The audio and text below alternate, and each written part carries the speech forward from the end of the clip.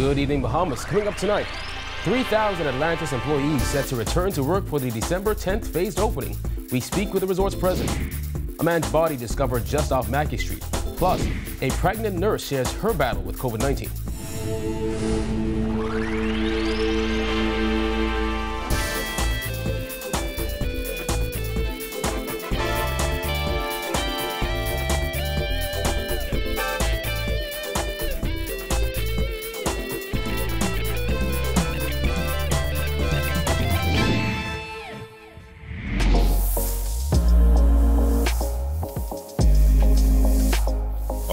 News is brought to you by Alive. Welcome to Our News and thank you for joining us. I'm Kyle Joachim. Topping news tonight 3,000 employees of Atlantis Paradise Island are set to return to work for the resort's December 10th reopening. In an interview with Our News, Atlantis President Audrey Oswald explained how the phased reopening will work and what guests and employees can expect. While the country starts to reopen, we can begin to touch hearts in many ways. After being shut for eight months, Atlantis Paradise Island will reopen its doors just in time for the winter holiday. The phased reopening will see guests enjoy the renovated Royal East Tower guest rooms, Harborside Resort Villas, and the Reef Residential Style Studios and Suites, which is set to reopen on the 17th. We will also be opening other features of the resort. Aquaventure will open, our five miles of beaches will open. Over Christmas and New Year's, the Cove Pool and Cabanas will open. Um, many of our Aquaventure features, like the Mayan Temple and the Power Tower, will open, um, as will many of our restaurants. So there's really no need for our guests to leave the resort. Atlantis President Audrey Oswald told our news that while there are some 7,500 employees, 3,000 will return for this phase of the reopening. She spoke with many of those employees via Zoom today. It's been a very long, tough road, um, difficult times for everybody. Atlantis is not unique to this situation. Um, but for our team members, we're thrilled to be able to be bringing so many of them back to work on December 10th. We only wish we could bring all of them back much sooner. Over the past few months, there have been several demonstrations with some Atlantis employees requesting that they be given separation packages after being furloughed for months. Oswald explains why the resort hasn't made a decision to carry out any layoffs just yet. It would be premature for us at this time to declare people redundant. You know, we don't know how quickly tourism is going to rebound. And as soon as it does rebound, then we'll be able to make a decision on how quickly we can move into phase two and ultimately phase three, which would be a full reopening of the resort. And only at that time will we be able to make a um, determination of who we need to re- who we need to return to work and who we might never return to work. But it's premature and it would be irresponsible of us to make that call right now. Atlantis will operate within a bubble, considered a safety zone where everyone is tested before their arrival, including employees who will be tested weekly. From the airport, guests will be whisked off by drivers who will also receive COVID 19 tests. Now, for the initial few weeks of reopening, locals won't be able to just walk up and enjoy restaurants and other amenities, as they will only be available to registered guests. To make sure that we have all the kinks worked out and that we can keep both tourists and our team members safe. But as soon as possible, shortly thereafter, we will open it up to locals. Oswald added that the resort is ready to get back to business, welcoming guests to a one of a kind experience at Atlantis. This is who we are. Sunny days are ahead. The Nationality, Immigration, and Asylum Bill is in its final stages of review, according to Immigration Minister Ellsworth Johnson. The bill, which was released for consultation in 2018, addresses the long standing problem of statelessness as well as the rights of Bahamians to pass on their citizenship. Johnson said officials have discovered that some applicants are not stateless. So, what I'm finding is that persons don't want what they have. Uh, and so, for instance, in a number of occasions, persons have come to me and say, said to me that they're stateless, only to find that, listen, you, you have a designation but you don't want that designation. You really want Bahamian citizenship. Meanwhile, persons who have been granted legal status in the country but are still living in shanty towns could have that status revoked, according to Johnson, who said they should be able to demonstrate they have somewhere to live and will not be a burden. I'm finding that there are too many persons who have been given legal status and find themselves living in a shanty town. Not only that, it was granted while they were living there. When you are licensed to be in this country, you must demonstrate that you're not going to be a burden on the public purse and that you have somewhere to live. And to the extent that you and or your employer can't find somewhere to live, well, you have failed to, to comply with a strategic part of the licensing process and that your, your license may have to be revoked. The immigration minister said they have also noticed that many people are applying for Bahamian citizenship to use it as an opportunity or fallback plan. I'm finding too many people who don't intend to live in this country, who are away and who are attempting to send back to get citizenship in case it doesn't work out where they are. They can get it. I asked the young lady, I said, why don't you come and bring these documents to me? She said, she's not here. I said, well, where are you? She said, she's away. I said, well, come home. She said, I can't come. I said, why can't you come? See, if I can't, if I come, I can't go back.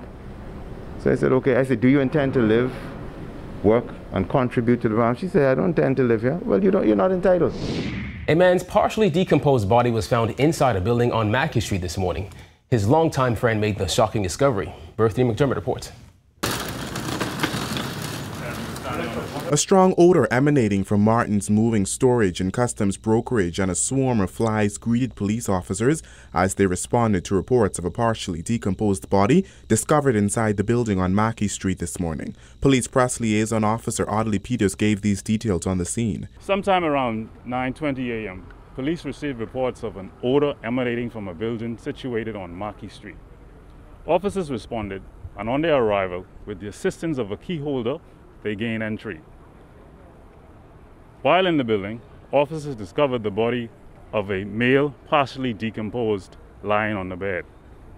At present, the evidence does not suggest foul play. However, we're awaiting an autopsy's report to determine the cause of death. He said the man's family owns the building. The body was reportedly found by the man's longtime friend Matthew Mitchell, who says he is 58 year old Jeff Martin. Shouted out a couple of times. He didn't respond. So I went to the window after seeing loads of flies and I looked inside and there he was. That simple. I just never thought that I would be faced with this kind of situation. You do not expect these sorts of things to happen to your friends. You expect things to happen in a more natural way. Family members on the scene declined to comment, but Mitchell said they are shaken by Martin's death. He described the father of two, whom he claims lived inside the building, as a kind and warm person. A super guy, athletic, friendly, warm, give his last to, to those he loved and cared for. Really good guy. Uh, very, very sad to have found him in the way that I did. Uh, that's something that'll probably never, ever leave me. Reporting for Our News, I'm Berthany McDermott. Works Minister Desmond Bannister warning that if Bahamas Power and Light does not bring in some money, it can't keep the generators going. Bannister said during the good times, BPL usually faces up to $100 million a month in arrears. Georgia Bain has more.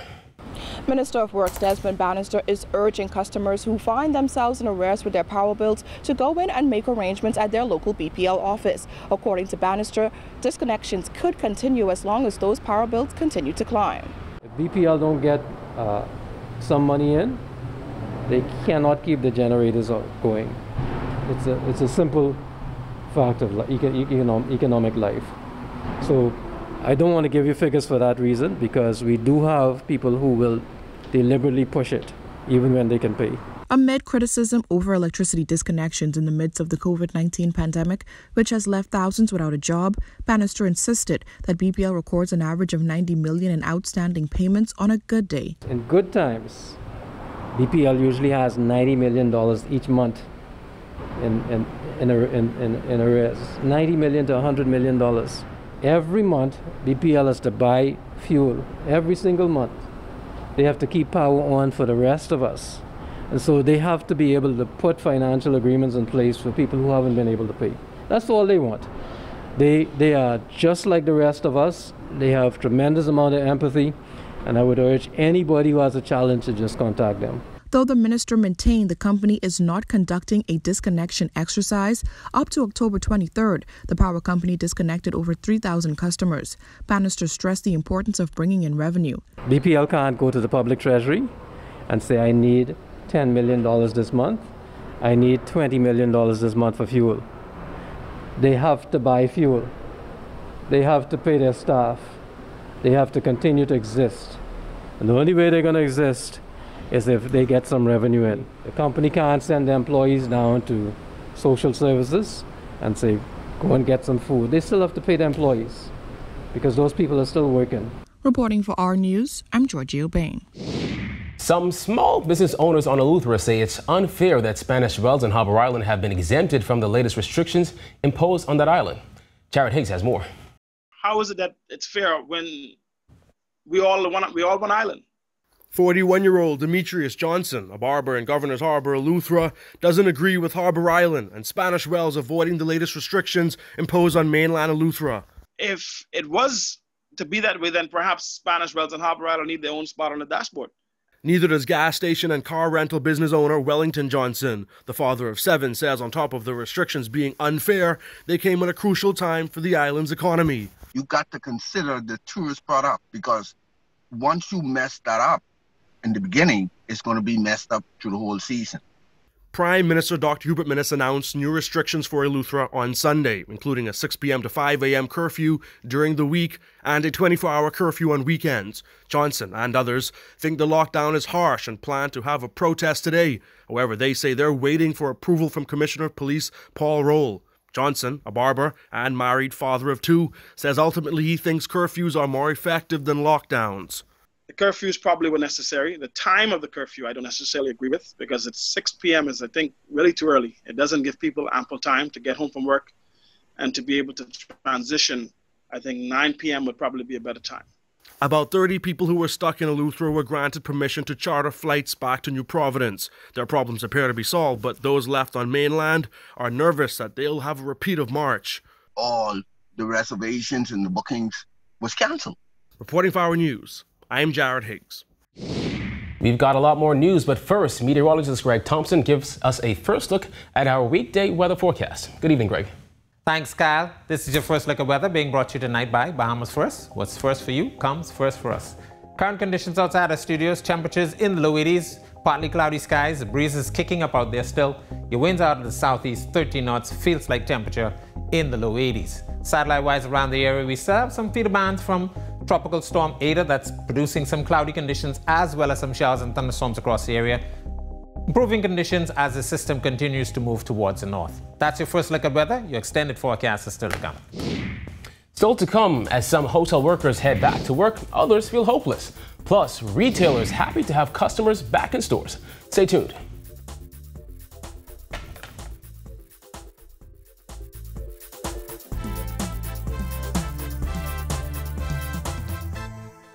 Just when you thought the year would end drought, Rev came through with Magic and Holiday Cheer. Our cashback will double making more spirits rise, with chances to spin and with a dope random prize. The rules are quite simple. You can find them online. Sign up for Trio and pay your Rev bill on time. Our grocery store dash is sure to bring smiles as 16 lucky winners tear through the aisles. Call 601-8992 or visit rev.bs slash promotions to find out how you can win with Rev's Field of Magic giveaway. Rev, you and us, together.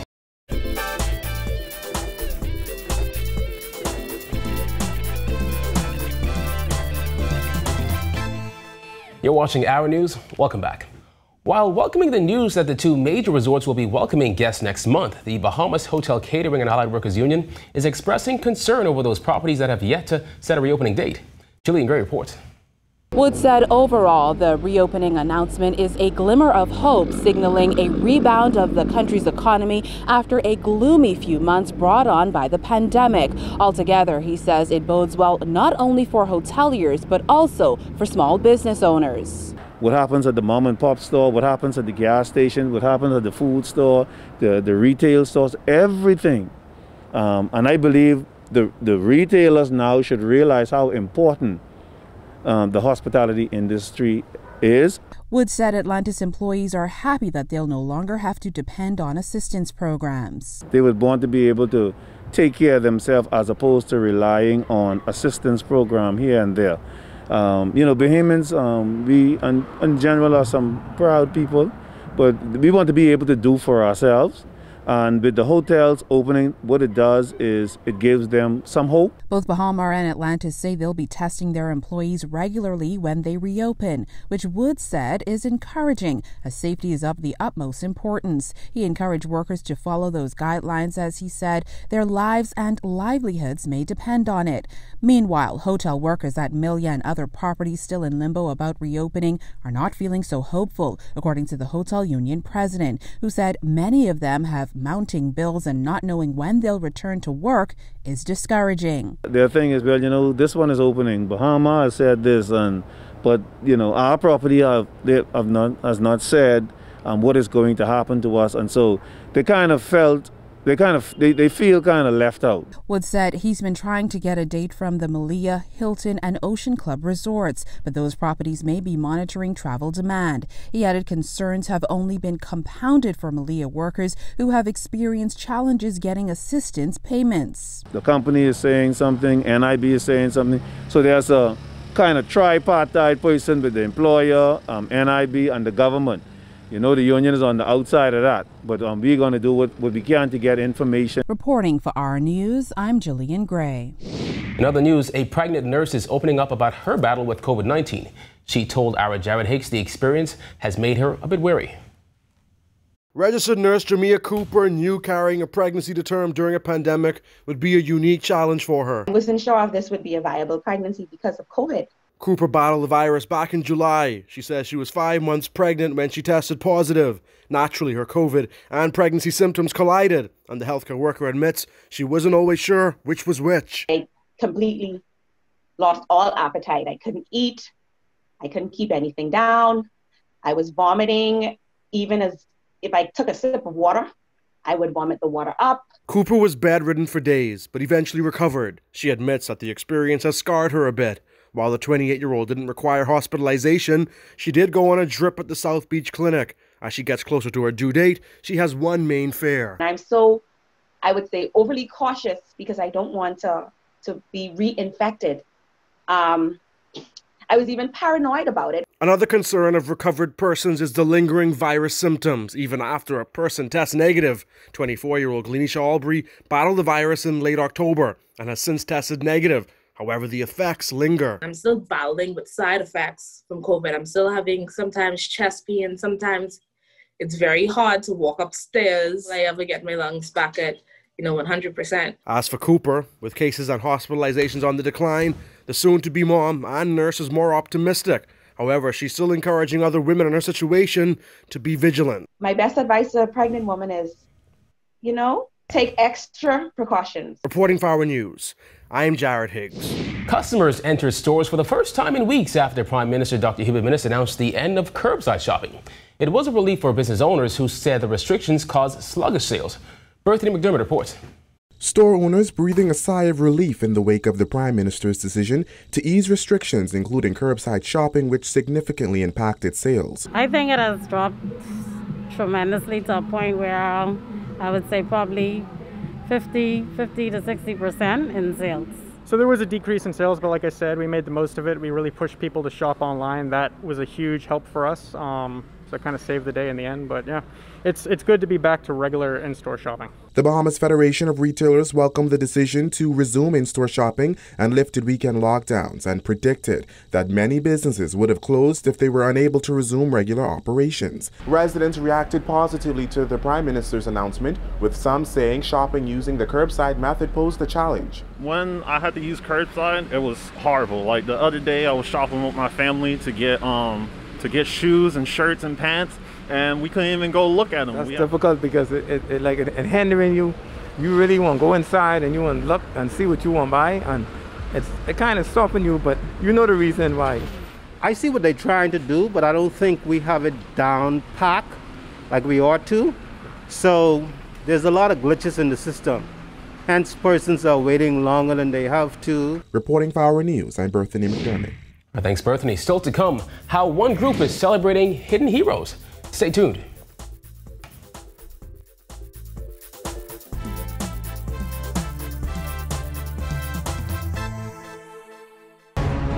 So the project really pays itself back. Correct. They set up a, um, at the conference.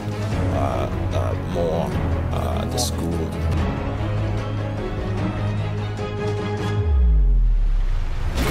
As a journalist, I always have to focus on the facts, sometimes that means going to investigate for myself.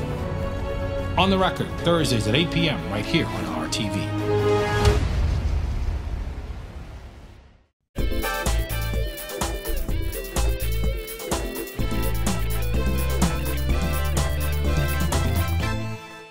Nominations are open for Character Day Bahamas 2020.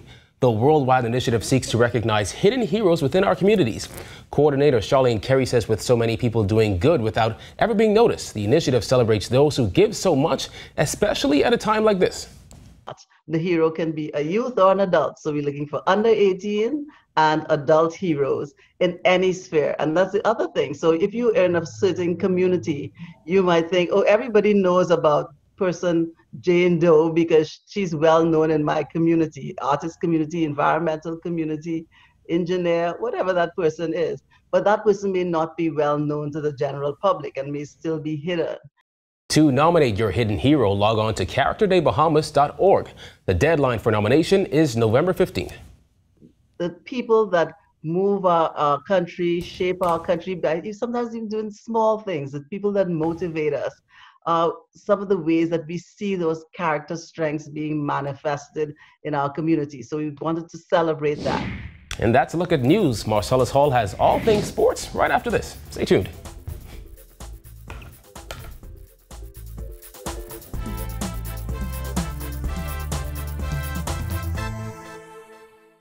Just when you thought the year would end drought, Rev came through with Magic and Holiday Chair. Our cashback will double making more spirits rise, with chances to spin and with a dope random prize. The rules are quite simple. You can find them online. Just sign up for Trio and pay your Rev bill on time. Our grocery store dash is sure to bring smiles as 16 lucky winners tear through the aisles. Call 601-8992 or visit rev.bs slash promotions to find out how you can win with Rev's Field of Magic giveaway. Rev, you and us, together.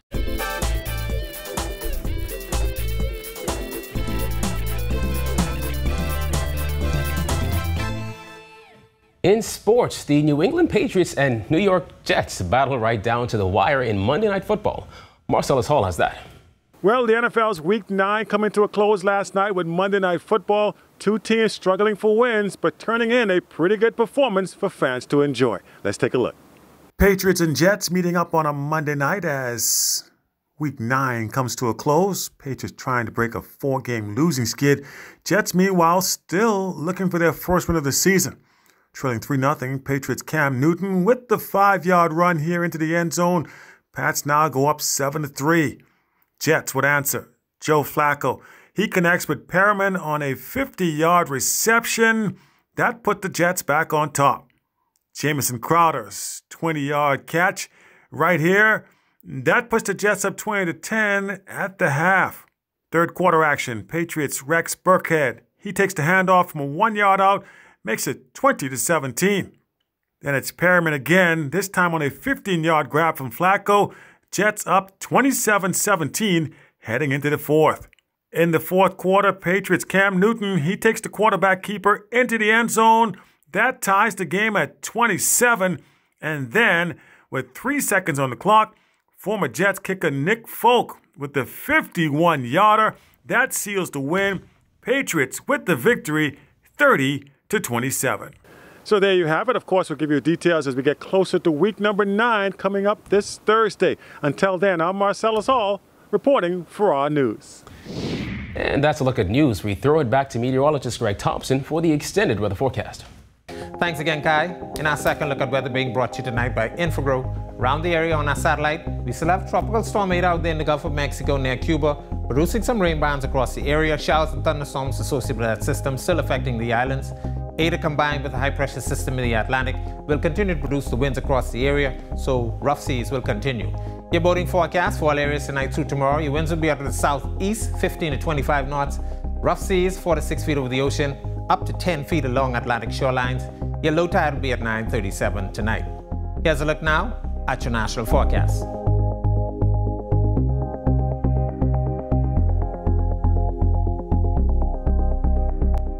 A look now to extended forecast through Sunday.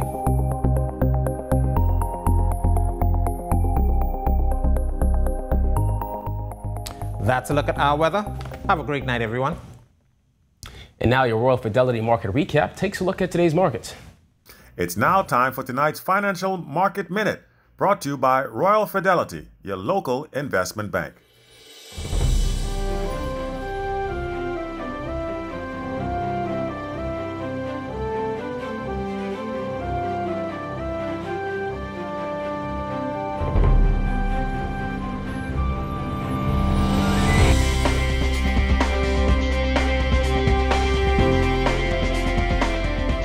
This has been your Financial Market Minute. To explore the best performing mutual funds in the Bahamas, visit our website at www.rfgroup.com. Well, thank you for joining us for Our News tonight. On behalf of the entire team, I'm Kyle Joaquin. We will see you right back here tomorrow night. Have a good Tuesday evening, Bahamas.